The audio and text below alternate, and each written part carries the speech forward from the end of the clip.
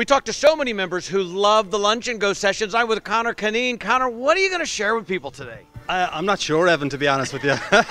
no, I'm actually going to be talking about a concept about engaging your employees and getting great customer service through the gift of GAB. Oh, tell And me more. The GAB is actually an acronym, Evan, for goals, attitudes, behaviour.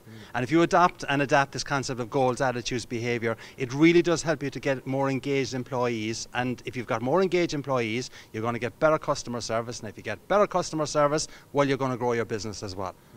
Uh, Any ways that particularly plays out, you think, in a retail environment? Absolutely, because I think everyone has got to have clear goals. So, for instance, uh, during the session, I'll be asking uh, the members what do they want to be famous for? That's kind of the goal I put to them. And if they know what they want to be famous for, i.e., a retail hardware outlet that provides great customer service, the best in the district, if that's the goal, let's work on making that goal happen. And I provide them with a number of daily micro goals uh, that everyone can do, that everyone can put to their employees to help them to create that better customer service.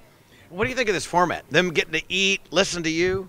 I don't think it's fair. I'm starving and they're eating. This isn't good enough, Evan. But it's really good though, because I think people need to uh, get away from the marketplace. I mean, it's tiring walking those uh, halls, uh, speaking to vendors, Right. exhibiting yourself, etc. Having the chance to sit down here, c- communicate, network with other friends, and then get some what I believe is really good ideas that will help them to bring the gift of gab to their retail outlet. That will help them to grow their business. So it's an excellent format.